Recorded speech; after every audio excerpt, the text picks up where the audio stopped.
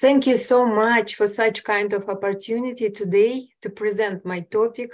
And uh, you know, we are celebrating of uh, arrangement of our new association. And uh, we are actually some representative from Central Asia countries. I'm from Kazakhstan and we have colleagues here from Uzbekistan. So we are happy to be here and present our topics today.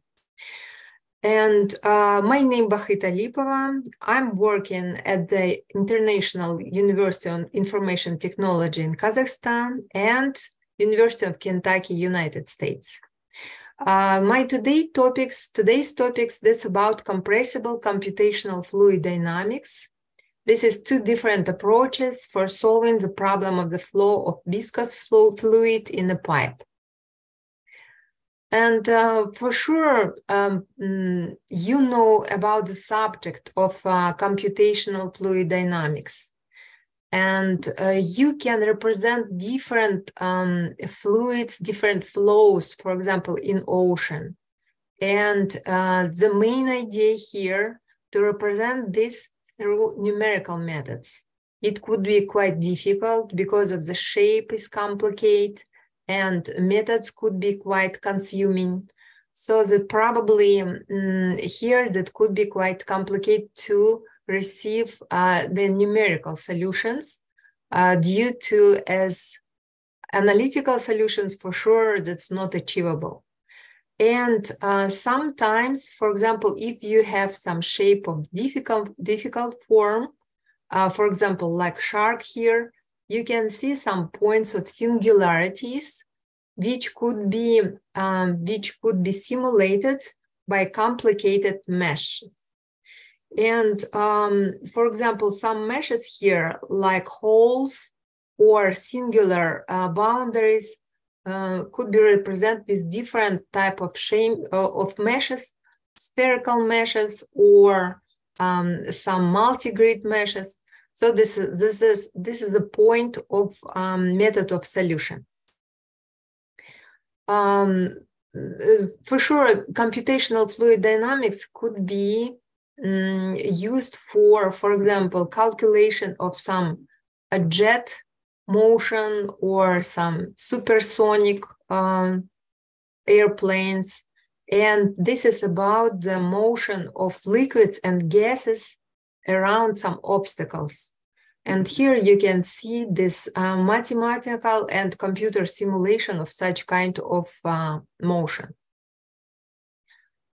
Um, this is a very famous profile of wing, wing of airplane, in which you can see how it would be um, simulated with different meshes. And um, here you can uh, use not only finite element methods, but finite volume methods and multi-grid methods, this bunch of them.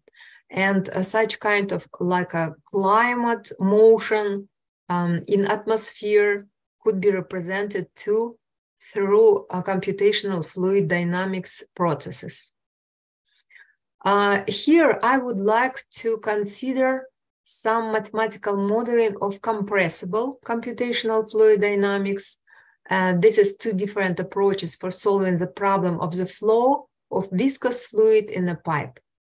I would like to stop here about some compressible and uncompressible uh, computational fluid dynamics, um, such kind of approaches could be considered, uh, one could be considered more analytical, second could be considered more comput computational.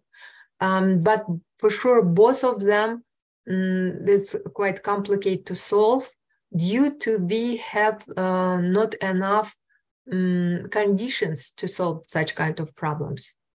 And uh, therefore maybe viscous fluid motion of viscous fluid could be considered like a simple one but uh, it will depend on the shape of pipe or um, some um, requirements uh, some condition of fluid and so on here we will consider statement of boundary value problems and for sure boundary and initial conditions uh, which could be described by Navier-Stokes equations And um, we will consider two different approaches to solve the problem in dimensionless form. Um,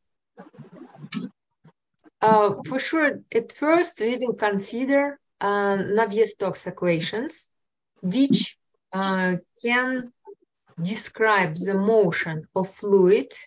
This is uh, the simplest case in which uh, we will consider the gradient of um, divergence and gradient of uh, different functions.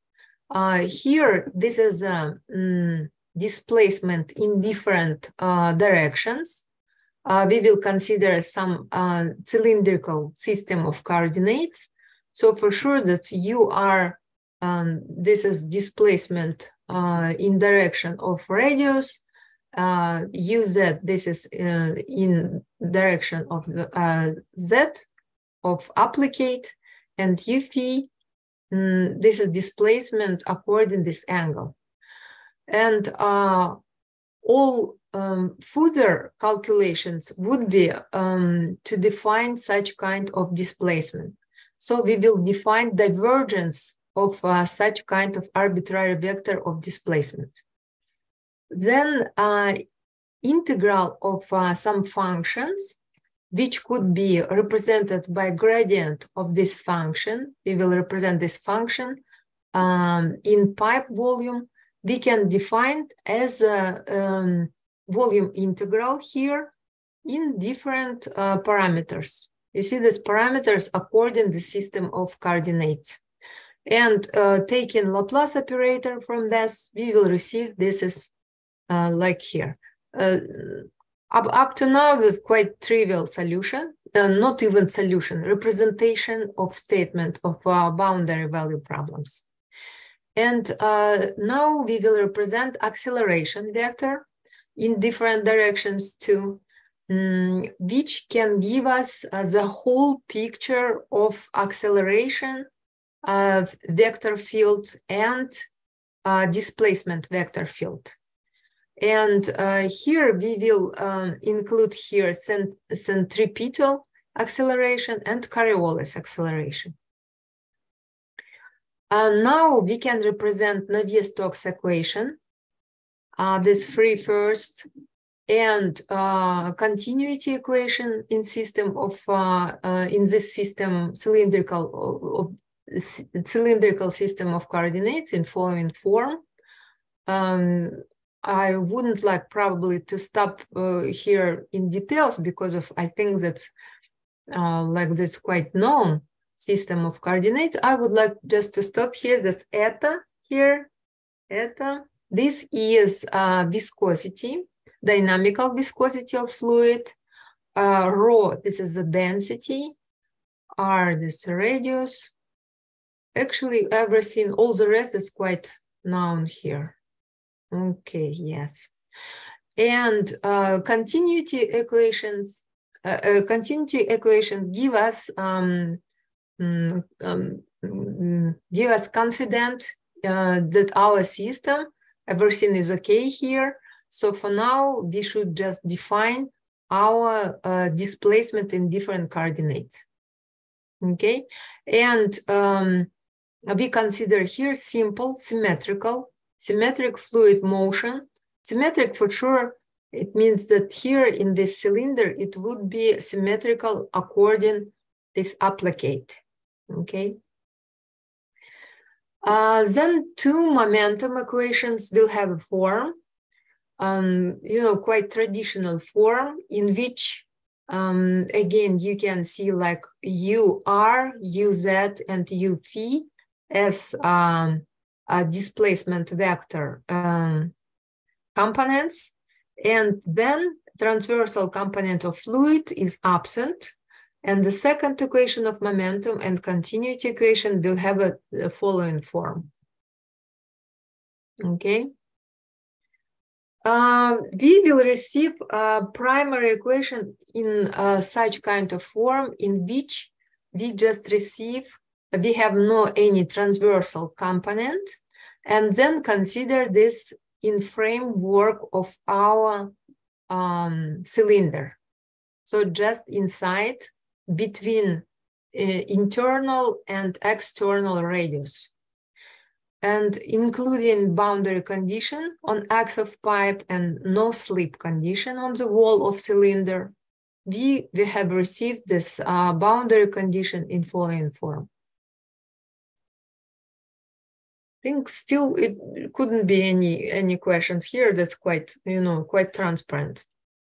So now um, I would like to formulate the mathematical model of the problem in two different ways.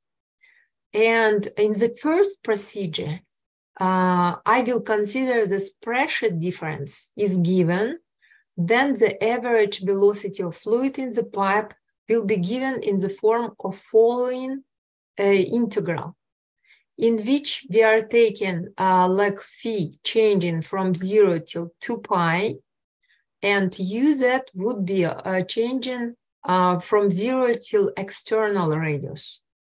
And for sure, the wall friction stress would be given here as the first um, uh, partial derivative uh, in, in the radius, uh, which would be dependent on external radius. And uh, this is the first procedure. And the second procedure, the fluid um, which flow uh, through a pipe is fixed like um, this quantity of uh, fluid which I can consider from one section of the cylinder. So it would be equal uh, such kind of um,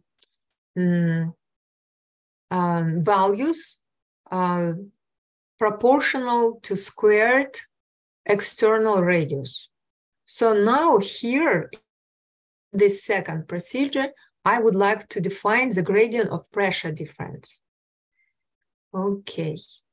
So uh, just to remind you, first procedure, this is, uh, we have here um, average velocity, like U, U big, and uh, wall friction stress. And now uh, we define the governing equation in the dimensionless form using dimensionless formulation.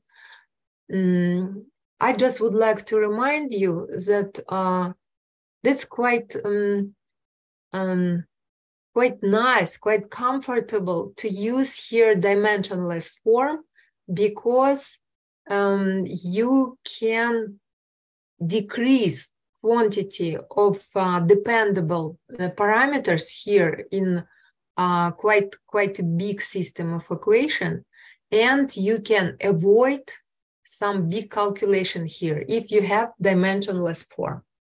And we are choosing like external radius, like parameter of dimensionalization.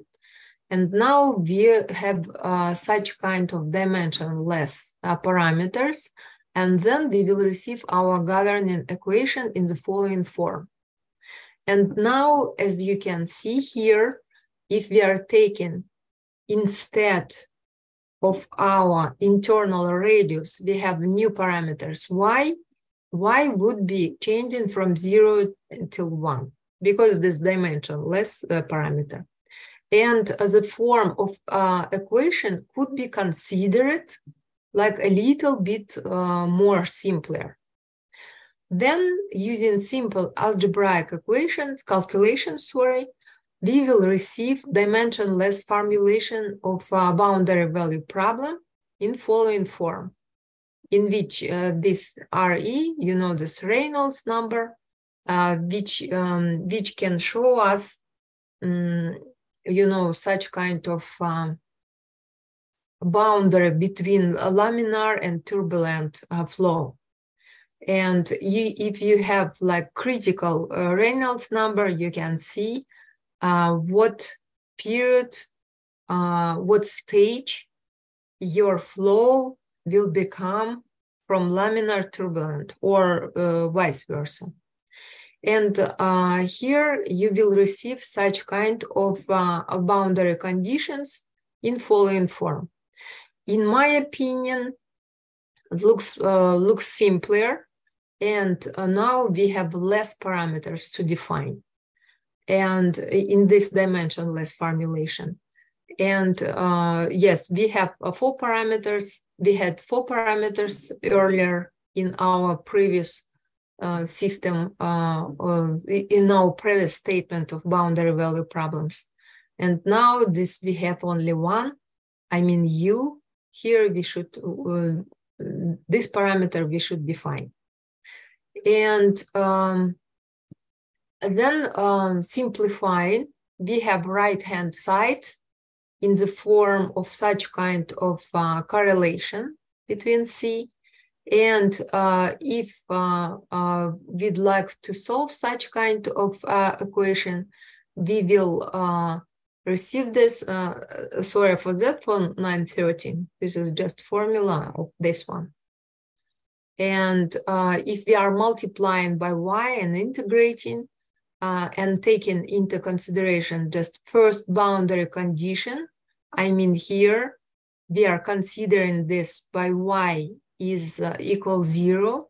You remember we have these new parameters which equal r internal over uh, r big external. So this is actually our new parameter which characterize changing among the internal radius in our cylinder. So taking into con consideration this first boundary condition, we will receive such kind of very simple integrand on which um, we can uh, very, um, you know, very simple uh, to realize that uh, we will receive the parabolic velocity profile in the pipe um, don't forget and keep into consideration that we have no slip boundary condition on the wall of our cylinder. Uh, so the main issue in studying the flow through pipe is the determination of their resistant coefficient. And uh, this resistant coefficient of friction is the ratio of shear stress on the wall to the kinetic energy of the flow using the correlation between dimension and dimensionless parameter. So this is actually quite good result for first procedure. Just would like to remind you this, sorry, this first procedure was when we have average velocity on fluid in the pipe and we have wall friction stress. So having this and uh, taking dimensionless form and changing boundary uh, value problem statement and boundary conditions, we will receive such kind of um, parabolic velocity profile here. So, and um, mm, um, for sure, we, we can receive even uh, stress here in the form even simpler uh, having uh, y is equal one, which which can be represent the wall of our cylinder, and um, now resistance uh, will drop with Reynolds number accordingly, and you can see here this is um, um, reciprocal proportionality of Reynolds number but this always uh, bigger than zero, then we still have physical process here, physical motion of our fluid. Uh, what about second procedure? And just would like to remind you, sorry guys, I'm just about to be back, that we have the fluid flow uh, through the pipe. Uh, we have fixed like uh, quite a simple statement uh, according um, proportional um, squared external radius. And now uh, solving such kind of second procedure, we will receive that um, governing equation in dimensionless form will be following in this form. You see, again, we are replacing our dimension parameters uh, by dimensionless parameters. And uh, now we can receive the C like RC and uh, like resistant constant. And we will receive this equal one. And then we can receive absolutely definite um, mm, definite correspondence between our um, um, our constant, our resistant coefficient, sorry, and Reynolds number. And then we can uh, solve pressure gradient as follows. So actually, uh, we can receive absolutely definite correlation between pressure gradient and velocity, that's u, and Reynolds number, which can characterize for us, I'm just reminding you, this stage, some, um, some, uh, you know, some level of turbulence, uh, turbulence of laminarity in the in the flow. So actually, we can name this solution uh, like Hagen-Poiseuille solution for a smooth pipe. And uh, just would like to um, to keep your attention that here we're considering smooth pipe having no any singular uh, boundaries or something like that. That's quite um, quite nice, quite good cylindrical pipe. Okay.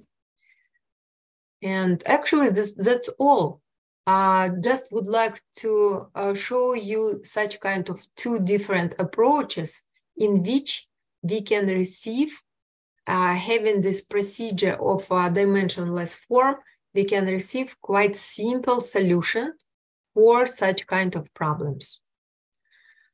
Uh, that's actually that's actually everything what I'd like to, to tell you today. Yes. Thank you. Thank you, colleagues. I just would like to put somewhere here. Maybe we'll have some question. Okay. Thank you very much for a nice talk. Welcome. Are there, any questions? Yes, yes, yes, yes. Oh. There is a question on chat. So from Budi, and thank you for the nice presentation. Is there any restriction about the pipe to use a new parameter for dimensionless in DR problem? Yes, absolutely. Great question. This is a Budi. Ah, this is a Budi in Iran. Yes. And, and for sure, Budi, um, this is the main idea here that this, uh, this pipe for sure should be absolutely nice and smooth and having um, you know, the same radius everywhere. I mean, the same section everywhere, and the wall non non slip condition on the wall. So this uh, having such kind of absolutely great, nice cylinder, for sure, I can construct such kind of solution here. But if it would be some singular boundaries here, or maybe something like on the wall or some change in parameters here, for sure this um, solution could be more complicated. And maybe in this case, I cannot receive analytical solution. And as always for computational fluid dynamics, for sure I can construct, I need to construct again some meshes, you know, as, as I showed here and uh, to receive the solution in numerical form, in computational form. And uh, it was such kind of procedure. It was just uh, another, uh, some small example. How can you receive analytical solution here? Okay, I hope I have answered your question. Mm -hmm. It's okay, probably. Okay, thank you. And are there any questions? Hello. Uh, Hello. Yeah. Mm -hmm. Do you have any expression for the pressure or uh, how do you calculate the pressure gradient?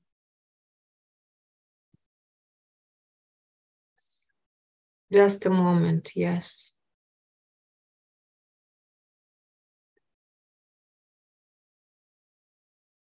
Showed somewhere here, yeah? Yes. Mm -hmm. For example, for a second procedure, yes, uh, if you have absolutely definite uh, solution in definite form, so I can receive even such kind of simple uh, representation of pressure gradient. And uh, uh, this is this pressure gradient in, in the direction, if you remember, just a moment, in the direction of um, external radius. Because of uh, x, uh, this is dimensionless parameters, which could be represented instead of z. Yes, and z, if you remember, this is along the pipe, applicator along the pipe. So uh, receiving such kind of pressure, yes, a pressure gradient, I'm receiving this only along the, this pipe. If I will have, I would like to receive such kind of um, a pressure gradient along uh, um, my uh, natural dimension parameter, it could be a little bit, for sure, more complicated than in dimensionless form, but still could be received here in analytical form. But this is actually only along the pipe. Even the symmetrical flow and even the pipe is so so nice, so such, you know, such a cutie. even in this case, I'm just receiving only such kind of pressure gradient. You know, this everything this happens because of Navier-Stokes equations. They're, you know, they are still so complicated to solve them in analytical form. This is always such a tiny boundary when you can receive analytical solution because of every step you cannot receive this and you should go to numerical solution. So this is actually about such kind of uh, pressure gradient. Okay, thank you. Welcome. Mm -hmm. I hope I have answered. Uh -huh. you. Are there any questions or comments? So we still have three minutes. So could you give, so there are many younger people here. So could you give some your mathematical journey and some message to younger people? Oh, absolutely. I like so much students, you know. yes. I'm just would like uh, to show you this slide back. And, uh, you know, in my opinion, for sure, such kind of pictures, they are absolutely impressive. And if you will receive some animation, and some vector fields and so on. They're so colorful, so nice, absolutely looking so great. But uh, receiving such kind of pictures, that's not such a big deal, in my opinion. You should just, uh, you know, to buy absolutely great, new, expensive software. And after that, you can receive millions of such kind of pictures in my opinion, that's much more complicated to construct such kind of solution. If you have received analytical solution, then you can construct such kind of um, um, software anytime, any place. So in, in the basis, there's always such kind of fundamental research. So my just just my recommendation for all our young audience, um, you should be more, um, more deep inside of analytical math because of it will give you freedom. It will give you, you know, absolutely like confidentially in, in yourself. You would be like self-made man. I'm sorry, self-made woman. so uh, this is just my recommendation. If you if you will know everything about equations, which are in base of software, then you will receive such kind of pictures like easy, easy. This is just my recommendation. Thank you so much. Thank you very much. So are there any questions? No? Okay, so let's very, very thank you very much. So let's thank the speaker again. Thank you. Thank you.